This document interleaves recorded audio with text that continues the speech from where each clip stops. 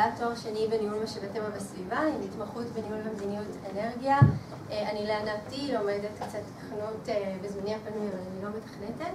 במקור התואר הראשון זה ביולוגיה ימית, ואני עובדת בתחום הסביבה.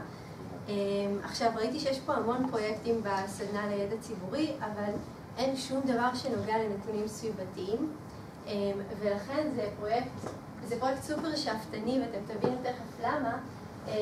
חשבנו לקרוא לו סביבה פתוחה. זה ממש עשי יפתח, יום שני רק הוא עלה הרעיון, ככה שהאקתון זה ממש יריית פתיחה.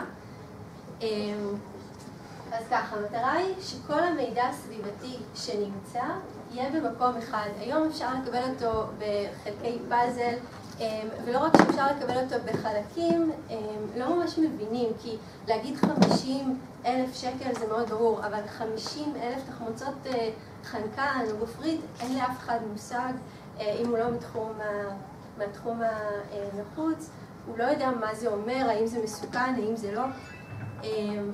אז ככה, זה לא רק זיהום אוויר, אני בטוחה שרוב האנשים כאן לא יודעים למה הם חשופים בדירה שלהם, אם זה, לא יודעת, הפסולת, לאן היא הולכת, מהם פתרונות הקצה, האם זה שאתה מפריד, זה באמת הולך להטמנה, זה באמת הולך למקום מחזור, קרינה.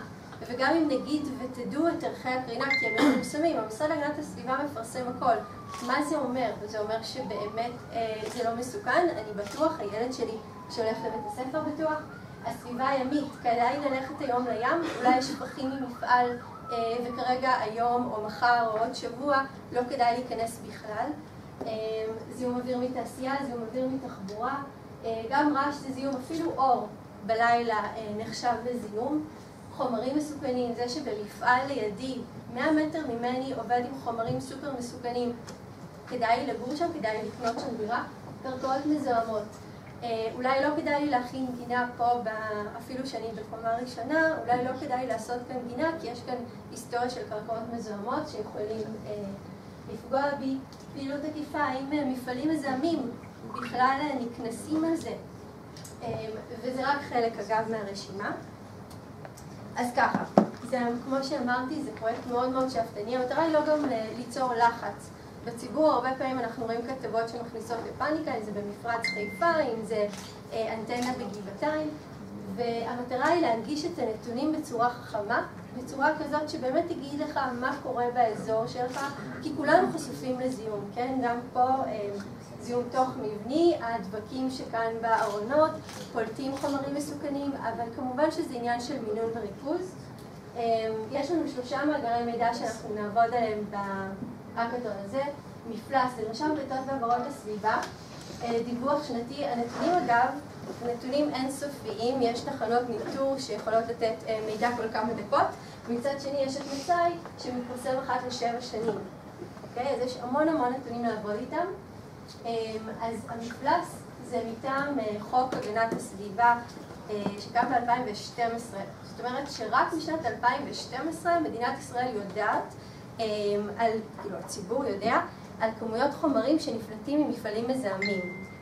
כמובן שאנחנו מפגרים מאוד בתחום, באירופה ובארצות הברית הם יודעים על זה כבר הרבה הרבה קודם, אז הנתונים הם משנת 2012 ו-2013, המצאי התפרסם לראשונה בישראל בינואר 2015, מצאי זה אומר בעצם הכל, כמה מתעשייה, כמה מחקלאות, כמה מתחבורה, זה הערכות וחישובים של המשרד, אני אישית לא ראיתי על זה כתבה בעיתון, ונתוני תחנות ניטור אוויר, שוב זה יכול להיות גם כל חמש דקות, כל שעה, כל יום, השאלה אם אנחנו רוצים אולי להנגיש רק חריגות, כי אם יש חריגה בתחנת ניטור, אז המשרד להגנת הסביבה יודע על זה, והולך למפעל, הציבור לא יודע שיש כרגע חריגה ליד הבית שלו. אתם לא יודעים מה במאגר מידע של משרד להגנת הסביבה? הכל זה מאגרי מידע מהמשרד. יש את הדיווח שלהם לפי קטגוריות שלהם ממש... נכון. לזה אתה מדבר? לא, משהו, לא כזה. אז על הניטור אוויר. לא, אתה במשרד להגנת הסביבה, מפרסם את כל הדוחות על כל הזיהומים שהם להם. נכון, הם מפרסמים גם דוחות, התזה שלי הייתה בנושא המפלס, אבל הם לא מנגישים את זה לציבור, כי מהדוח עצמו, שוב, כמו שאמרתי, אי אפשר להבין מה זה אומר, והאם יש פה סיכון או לא. אז ככה זה נראה היום, אתר המפלס, שהוא יחסית משנת 2012, יחסית חדשני, אבל גם זה, אוקיי, אז בסדר, אז יש לי אה, מיליון ומשהו תחמוצות חנקן. מה אני עושה עם המידע הזה? אה, המצאי, שאמרתי מתפרסם אחת לשבע שנים, גם מראה את הנתונים האלה. אתם רואים למשל אה, ממחצבות, מתחנות דלק, שימוש ביתי, זה הערכות. ונתוני תחנות ניטור, אה, כאן הראיתי אה, שיש ממש יעדים שאפשר להגיד מהיעד הזה יש פה סיכון לציבור, זאת אומרת, אנחנו לא, כמובן לא ניתן סתם מספרים, זה המשרד להגנת הסביבה נותן, אנחנו ננסה גם להנגיש אותם ולספר מה הם אומרים. ראיתם דברים על חיפה?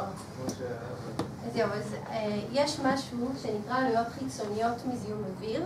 כאן למשל זה משהו שכן אה, תופס את העין להמון אנשים. הרי גם אה, תאונות דרכים אפשר לכמת אה, כלכלית, אפשר לראות כמה עלה לנו זה שנוצר פה פקק, אשפוז בבתי חולים, וגם פגיעה אה, באדם ובסביבה כתוצאה מזיהום אפשר לכמת כלכלית.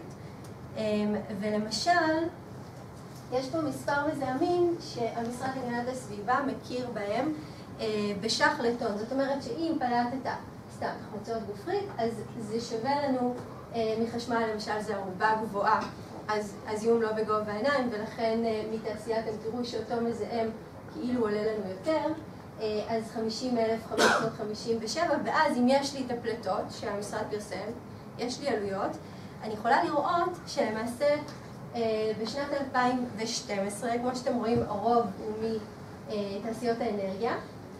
העלות של רק, אגב, כמה היו שם? אני חושבת שחשבתי שם בסוף חמישה אה, מזהמים, יש חובת דיווח על 114 מזהמים, זאת אומרת שזה הערכת חסר, אוקיי, סופר חסר. אה, יצא לי 14.5 מיליארד שקלים, שאנחנו משלמים, לא שהמפעלים משלמים, אנחנו משלמים על הבריאות שלנו, מדינת ישראל משלמת אה, על אובדן חיי אדם וכיוצא בזה. אז זהו, אז אני אסכם ואני אגיד שיש פה המון פוטנציאל, זה רק הספתח, זה פרויקט ארוך טווח. זה משהו שעדיין אין. המשרד להגנת הסביבה מוצף בנתונים, הוא דווקא נחשב יחסית כמשרד שנותן אה, ושקוף. אה, ראיתי גם אה, שעיתונאים עשו עכשיו סקירה לפני כמה ימים, והוא מקום שני מבין כל המשרדים. אבל פשוט זה, הסביבה זה משהו שאנשים פשוטים שלא באים מהתחום פשוט לא מבינים מה, מה הם רואים, ויש הרבה פאניקה לשווא, ומהצד השני אנשים שצריכים להיות בפאניקה אה, ולא יודעים מזה. אז זהו, זה הפרויקט, אני ממש מקווה שתבואו.